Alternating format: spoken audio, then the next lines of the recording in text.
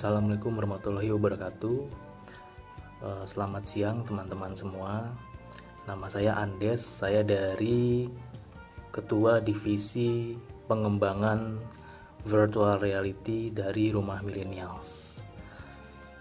Ya, seperti yang kita tahu semua, saat ini kita sedang eh, ada dalam sebuah musibah ya yang dialami oleh seluruh dunia yaitu uh, sebuah epidemi dari virus yang bernama COVID-19.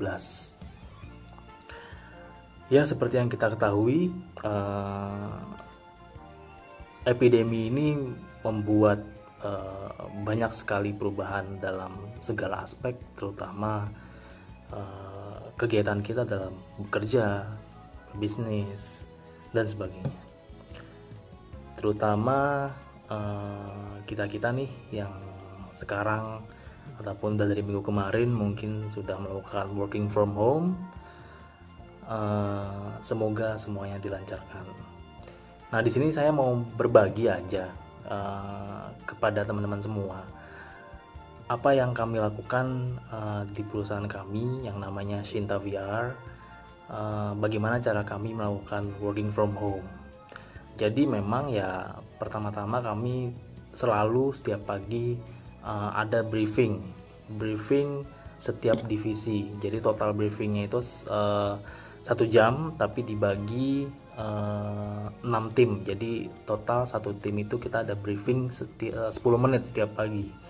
Terus setiap jam 6 sore semua tim itu kemudian update gitu. Update nya kalau ini kita pakai Slack biasanya uh, dan juga kita pakai Trello buat uh, apa namanya uh, mengevaluasi apa saja yang sudah kita kerjakan. Kemudian kalau ada feedback tinggal dimasukin ke situ. Kita bisa sharing pakai Google Drive. Karena sebenarnya uh, banyak sekali hal-hal yang bisa kita lakukan ternyata secara remote gitu. Uh, sesekali mungkin uh, kalau urgent sekali mungkin uh, bisa ke kantor. Cuma ya dengan banyak protokol-protokol yang kita terapkan seperti memakai masker kemudian hand sanitizer cuci tangan dan sebagainya. Oh sebentar saya ada telepon dulu. Bentar ya. Ya no oh mau meeting ya? Oke okay, oke. okay. Oke, ketemu di sana ya. Oke. Oke. Jadi uh, Wisnu mau ngajak saya meeting, cuma uh, dia pengen ngajak meetingnya di dunia VR. So uh, ini menarik nih karena uh, saya juga beberapa kali meeting dengan klien menggunakan virtual reality. Jadi uh, sekarang saya mau pakai VR ini untuk meeting sama Wisnu dan ya sembari main game lah. Oke, okay, let's do it.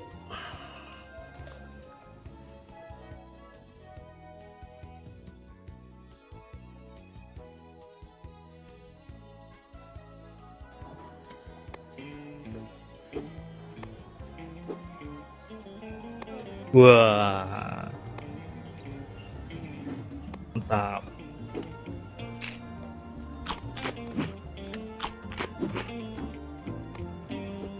No, jadi gimana no? Uh, kita sekarang ngerjain 3D apa nih yang belum dikerjain?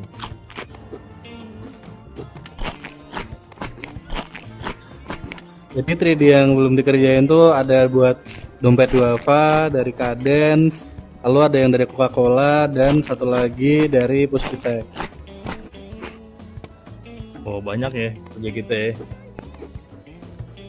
Ini semua working from home jadinya kita meeting di sini aja.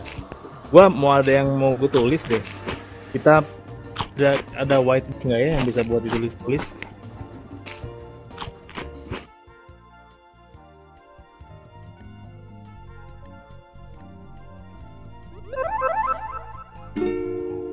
Halo. Deno Deno. Come here.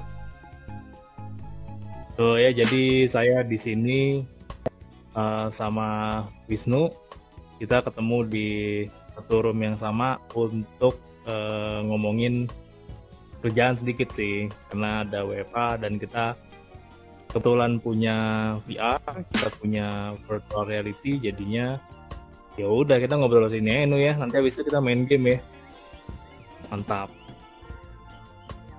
Oke jadi VR ini kan memang memungkinkan semua orang bisa masuk ke dunia virtual. No, gua coba pakai spidol yang ini ya.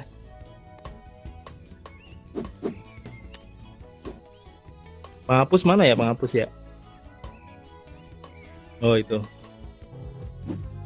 Ini kita bisa nulis-nulis tuh ya. Kita bisa nulis-nulis grafik apa aja nih ya. Oke. Target gitu kan.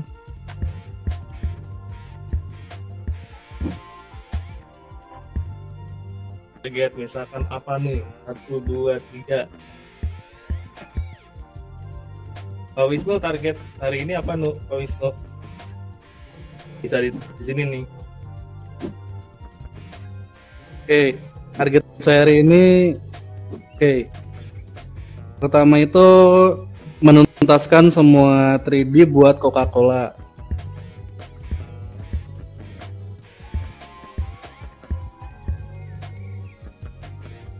terus ada buat uh, ntar untuk milih juga.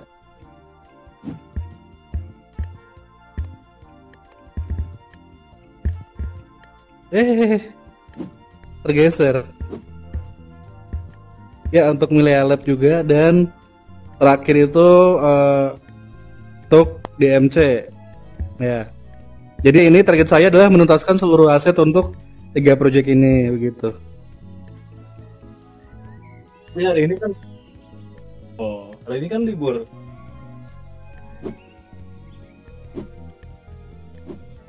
Besok kali. Hari ini libur, Bro. Kita main game, kita main game aja. Sembari ngobrol-ngobrol. Cuma masalahnya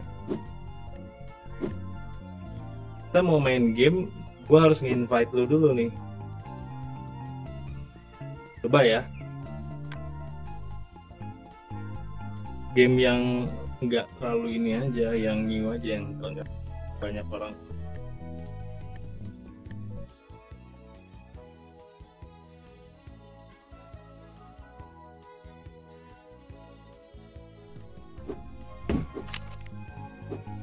Oh itu. Ah.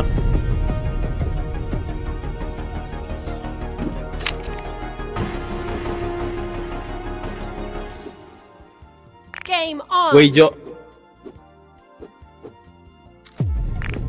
Laser tag.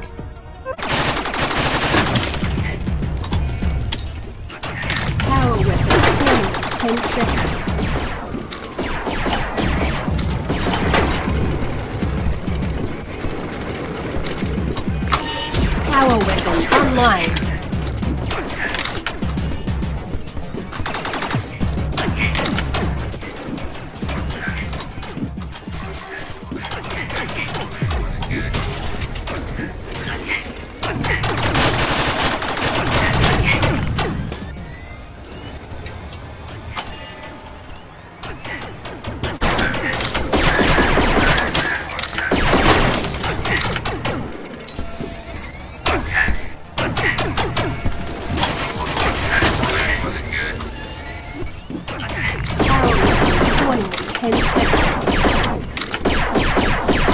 Power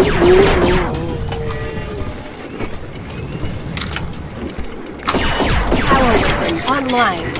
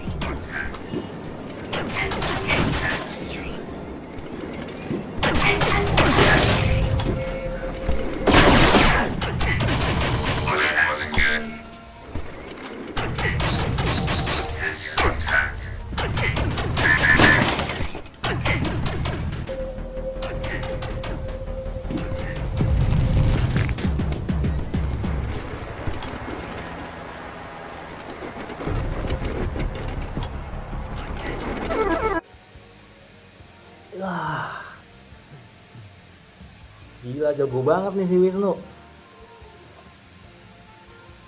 Eh jadi tadinya kita mau meeting karena besoknya kita sadar besok itu hari raya nyepit libur. Jadi kita main game dulu. Satu game lagi habis itu kita lanjut meeting lagi. Pesan dari kita semua eh, dari Sinta VR termasuk dari saya pribadi tetap jaga kesehatan. Eh, baik itu fisik dan mental minum vitamin cuci tangan terus dan tetap melakukan social distance karena kita nggak pernah tahu apakah eh, ya syukur-syukur nggak ada eh, terinfeksi tapi kita juga nggak tahu. Jadi so eh, ikuti aja apa yang diumumkan oleh pemerintah karena itu semua saya yakin yang terbaik buat kita semua bangsa Indonesia. Merdeka saya mau lanjut lagi